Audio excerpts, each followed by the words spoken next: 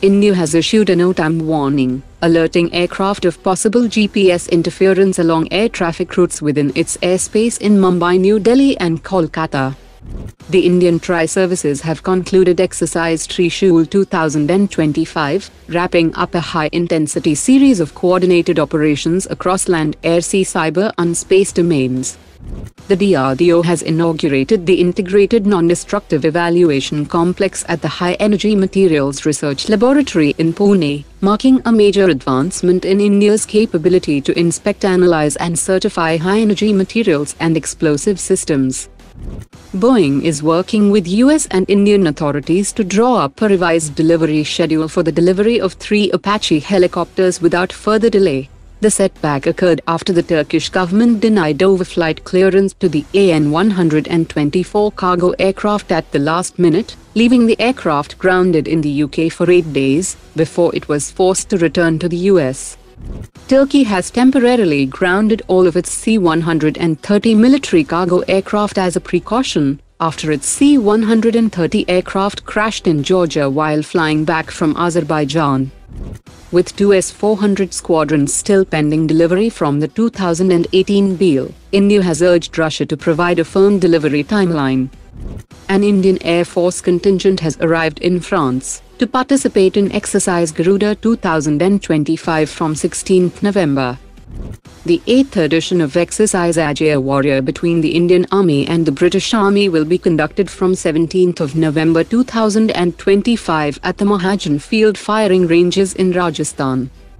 The Philippine Marine Corps has revealed its first operational BrahMos shore-based missile battery, which is now confirmed to be the BrahMos Block 1 variant. The Ministry of Defense has signed a contract with Bharat Dynamics Limited for the procurement of 5 km range Invar anti-tank missiles for T-90 main battle tanks, at a total cost of 2,095 crore rupees under the Buy Indian category.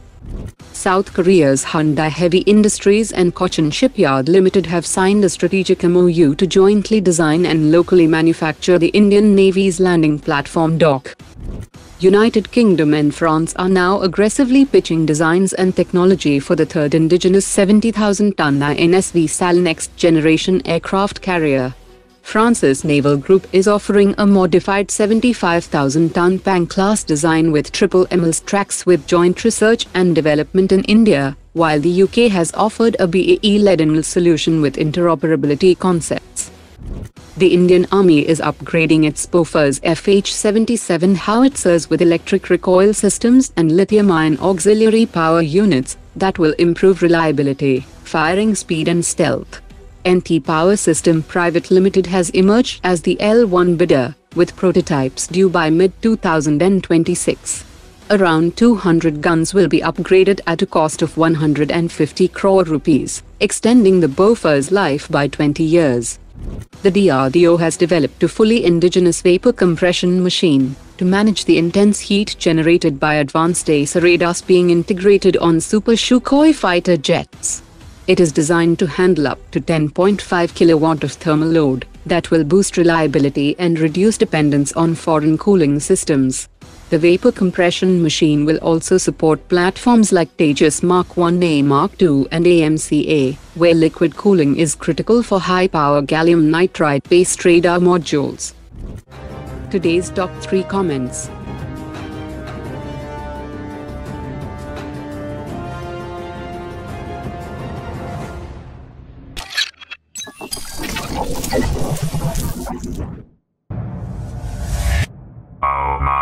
It.